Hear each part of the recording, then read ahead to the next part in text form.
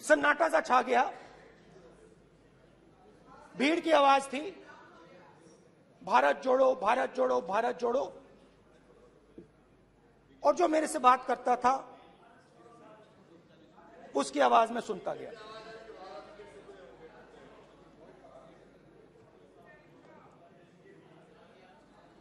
हर रोज सुबह छह बजे से रात सात सात आठ बजे तक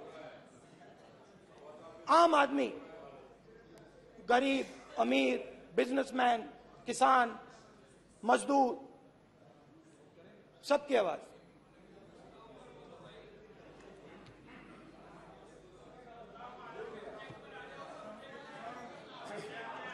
आ रहा हूँ, आ रहा हूँ। आ रहा हूँ। आप आप कल से रुके अब थोड़ा और रुक लो पाँच, दस मिनट रुक जाओ।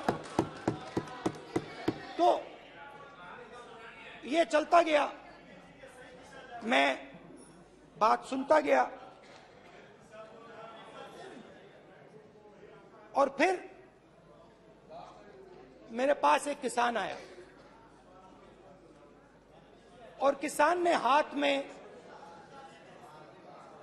रुई पकड़ी हुई थी।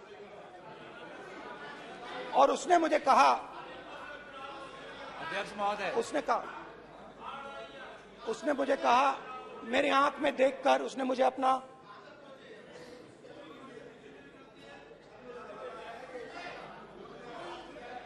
वो रुई रुई का बंडल दिया। और उसने कहा, राहुल जी, यही बचा है मेरे खेत का। मेरे खेत का यही बचा है और कुछ बचा नहीं है।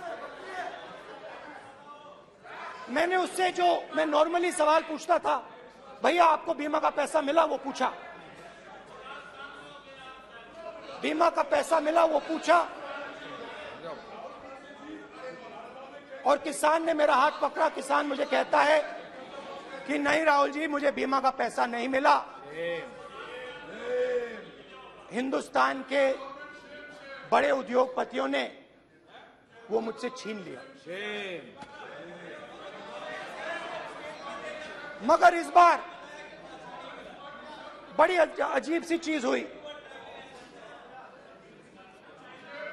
जब मैंने किसान को देखा और वो मुझसे बोल रहा था तो जो उसके दिल में दर्द था, वो मेरे दिल में आया। जो उसके आँखों में शर्म थी जब वो अपनी बीवी से बात करता था, वो शर्म मेरी आँखों में आई। जब हाँ जब जब उसकी जो भूख थी, वो मुझे समझ आई। और उसके बाद यात्रा बिल्कुल बदल गई। मुझे भीड़ की आवाज़ नहीं सुनाई देती थी।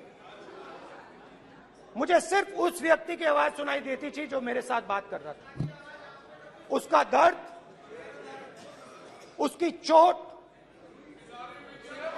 उसका दुख, मेरा दुख, मेरी चोट, मेरा मेरा दर्द बन गया समझने की कोशिश करो